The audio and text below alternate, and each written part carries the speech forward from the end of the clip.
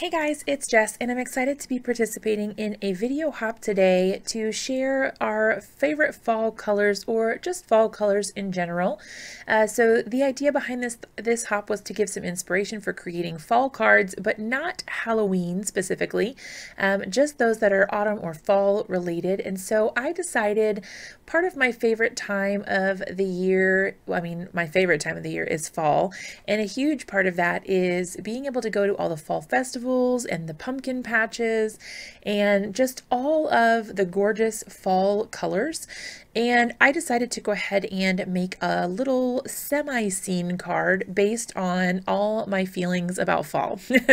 uh, so I'm using two Lawn Fawn sets here. One of them is called Happy Harvest, and then the other is actually a Christmas set called Toboggan Together, uh, and that's where that little deer comes from. But I thought the deer was perfect for my little fall card, so I just snagged him right from that winter set.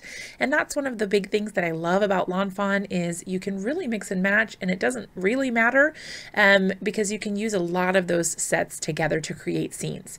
So from Happy Harvest, I'm using the pumpkins and you can see here I am creating a mask for that tiny little pumpkin using some full sticky post-it notes. I just went ahead and fussy cut that and then I'm layering everything on top so I can get an idea of where things are going to overlap and where to stamp everything out.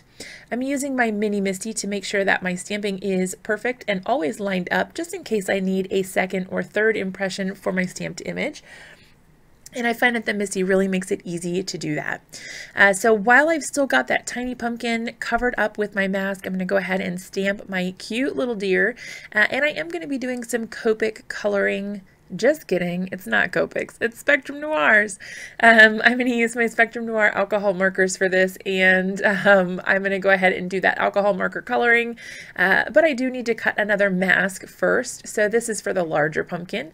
I did stamp out the deer just in case I needed it, but I didn't end up using it, so I did only use the two little pumpkins, which made this a really easy little scene to put together. Uh, once I had that masked off, I did go ahead and get the wagon all all set up and ready to go. That wagon is from the same Happy Harvest stamp set. I really, really like that stamp set. It's new to me. It's definitely not a new set, but uh, I have been really loving on it. It's getting a lot of attention this fall. um, so I'm just going to go ahead and stamp that out. Now the black ink that I'm using is an alcohol ink friendly ink um, and it is the Spectrum Noir Finesse Noir Black ink. Uh, so it's perfectly safe for creating alcohol um, alcohol marker backgrounds and whatnot. Uh, so I am popping up the color names or numbers as I use them. I'm doing the best I can to make it right at the right time, but sometimes they get a little bit off. But let me know what you guys think about this. This is something I've been trying out recently, and I'd love to know what you think, if it's convenient or handy, if you like it, or if it's annoying. Uh, so let me know in the comments what you think. uh, so while I'm doing this coloring, I am going to let you know, like I said, that this is part of a hop. Uh, so make sure that you click down into the description below and check out the next stop on the hop so that you don't miss anything. I know that a lot of the stops are offering prizes, so definitely check around and see what there is if you're interested. You might find somebody that you weren't following before uh, that you'd like to start following. If you're new to my channel, I'd love it if you subscribed. Give the video a thumbs up if you like it. It really helps my channel when you guys interact and engage, so that is always very much appreciated. All right, I'm going to go ahead and turn on some music while I finish up coloring because it is quite a bit of coloring here.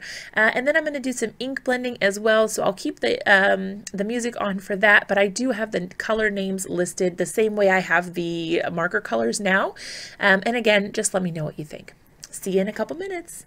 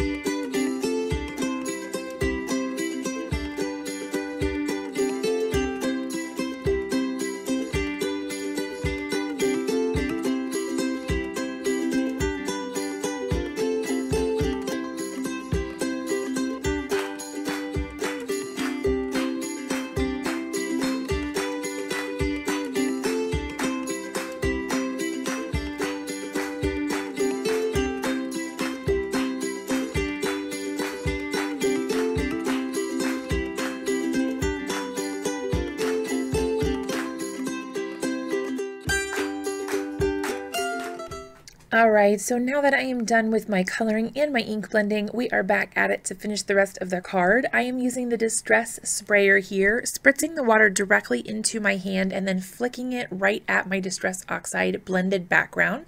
I'm going to let it sit for a few seconds, and while it sits, it is really oxidizing, so it is uh, interacting with the ink and the water. Everything is kind of mixing together, and then when you lift it or clean it with the clean paper towel, you get that faded or oxidized look. And I really, really like the way that that looks. Uh, so now I'm just going to go ahead and cut down the panel here. I didn't want it to be my entire background. I just wanted it to be a portion of the card. And I uh, was not really sure exactly what size I wanted it to be. So I did kind of put it back on the card and see. And then I thought, mm, that's too long. So I went ahead and cut it down a bit more. I ended up cutting it down to 3.75 uh, in height. And then I left it at four and a quarter for the width. So it's the entire front of the card as far as the width goes. Then I decided that I wanted to go ahead and cut the little scene that I created out and layer it right on top. Now, I was inspired to create this card by a card that I saw by someone who makes cards. Her name is Samantha Mann, and she is amazingly talented. She always has the super cutest Lawn Fawn cards and Newton's Nook. Um, she just has really, really inspiring cards. And I saw one that she had made for Newton's Nook uh, with this sort of concept where it had the ink blended background, but it wasn't the whole of the card. Uh, and then it kind of had a little scene sort of hanging off the bottom. And I really, really liked the way that that looked. So I kind of put my own spin on it and made my own little scene and then went with a plain black stamped sentiment up at the top.